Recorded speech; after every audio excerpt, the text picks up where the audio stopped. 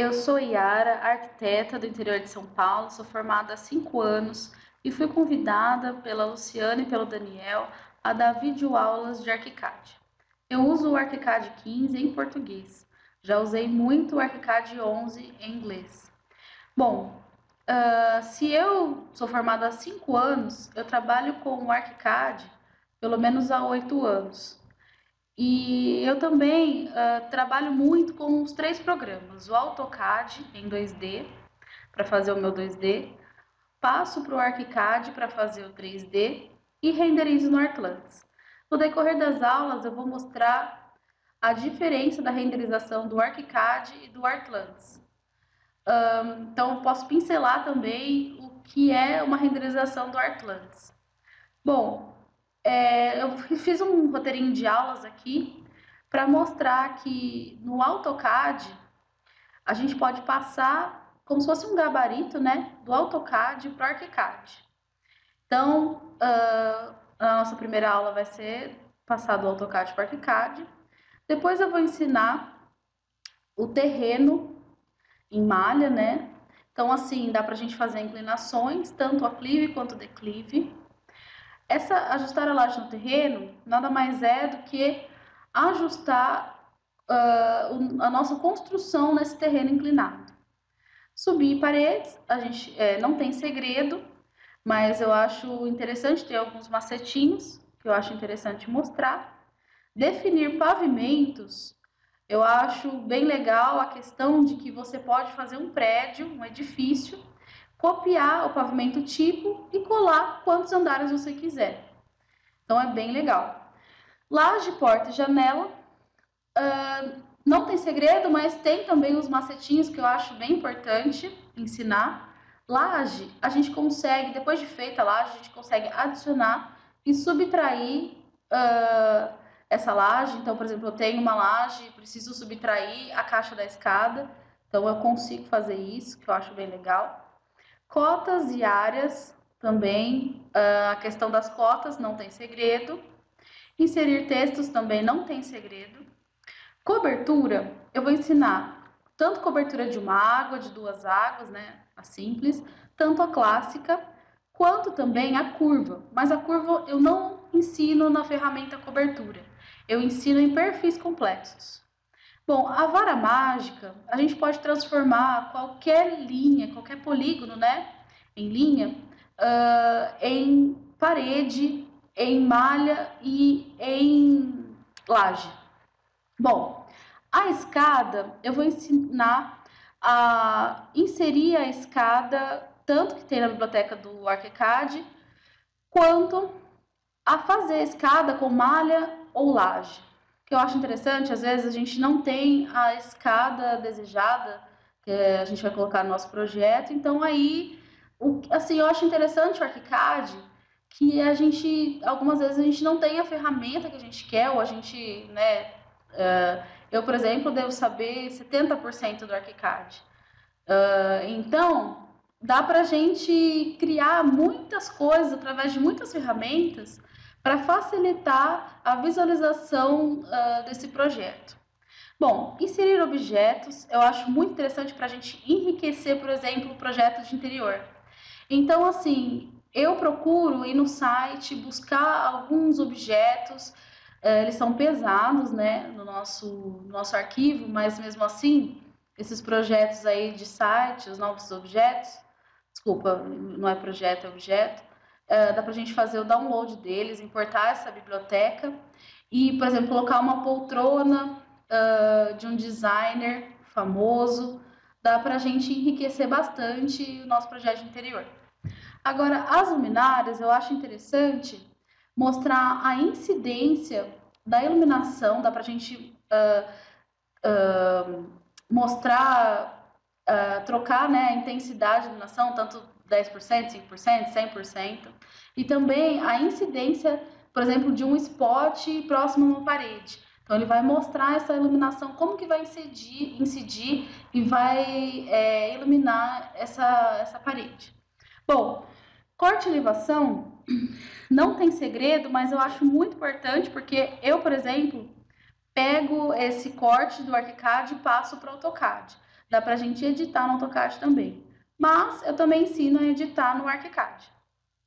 Foto renderização uh, é aquilo que eu falei, que eu vou ensinar a renderizar no ArchiCAD.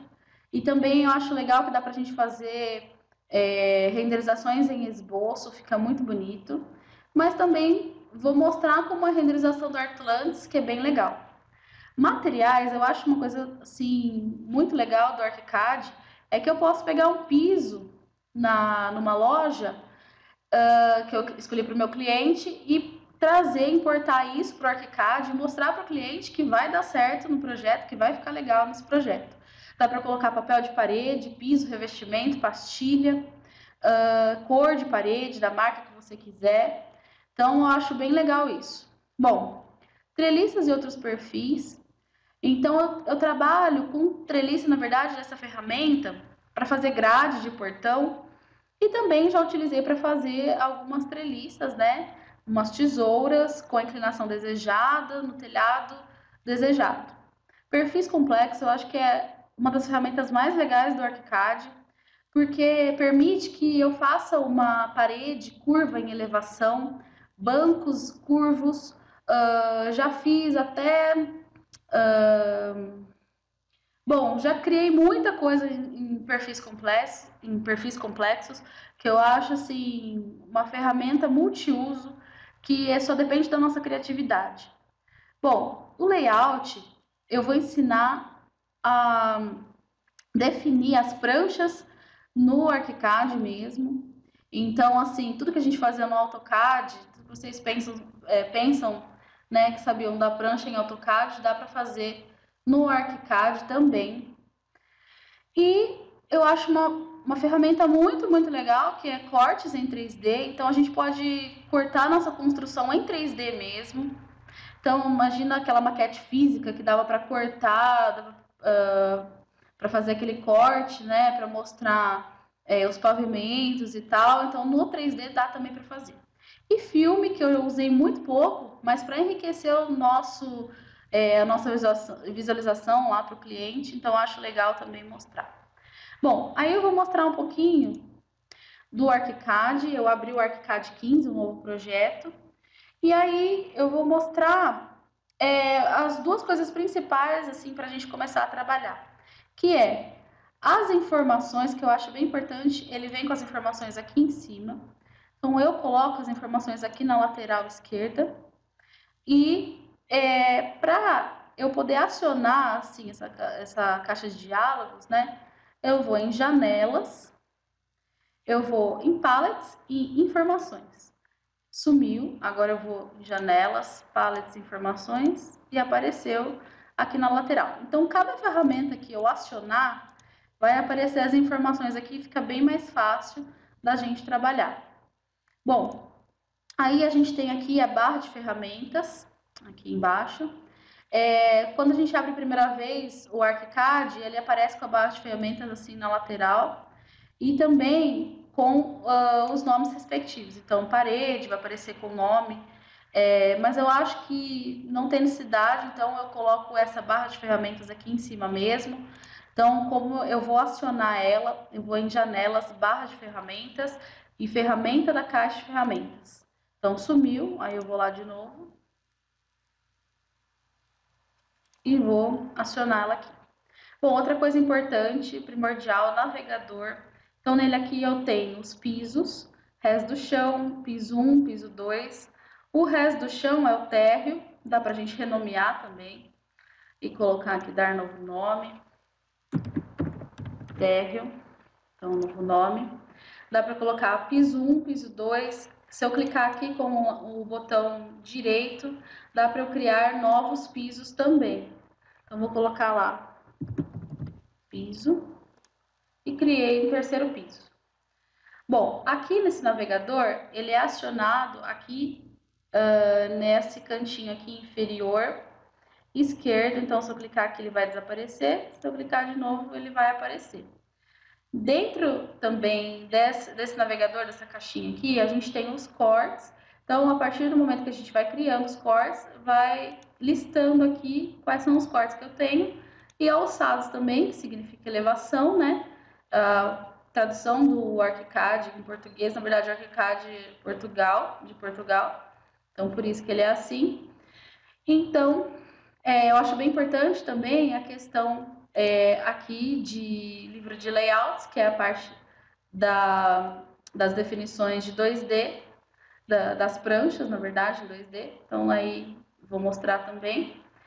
Uh, deixa eu voltar lá para a nossa primeira página. Bom, aí o que, que a gente tem aqui? É, vou mostrar que a gente tem a parede, então vai aparecer as, as informações de parede, acabamento de parede, porta, janela, janela de canto, clarabóia, cobertura, membrana. Essa membrana eu ainda não aprendi, então assim, é, assim que eu aprender eu posso passar isso para vocês. Uh, aí eu tenho viga, pilar, laje. Uh, aí eu venho aqui em escada. As escadas é como eu disse, vamos abrir só para mostrar. Eu tenho alguns tipos aqui. Escadas completas, curva, espiral, em L, em U. Malha é o terreno, que eu acho bem interessante. Zona, que seriam as áreas de cada cômodo do projeto inteiro, né? Os objetos, que é aquilo que eu falei, se eu clicar aqui, na cadeirinha aqui, então a gente tem as cadeiras, cadeirões, camas, decoração, uh, mesas. Então a gente tem uma infinidade de opções aí de objetos para a gente trabalhar. Bom, aí as luminárias, eu vou abrir aqui, tem alguns tipos, dá para importar também luminária, mas aí ele não vem com iluminação, então aí a gente pode vou ensinar um macete aí para importar uma luminária e ter iluminação da mesma maneira. Uh, aí a gente vem em cotas, os tipos de cotas, a trama, que a gente vai trabalhar em perfis complexos, e a linha, uh, o arco, círculo e a polilinha, o spline também, que é spline, né? Que seriam uh, linhas em 2D, que auxiliam bastante também na questão é, de trabalhar o projeto aqui. Bom, aí aqui eu tenho cortes e aqui eu tenho elevações. E já aqui em câmera, que seria câmera, né?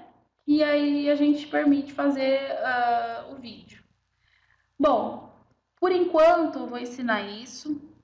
Uh, mostrei um pouquinho do que é o ArchiCAD para aguçar a curiosidade de vocês. E eu espero vocês na próxima aula, então. Muito obrigada.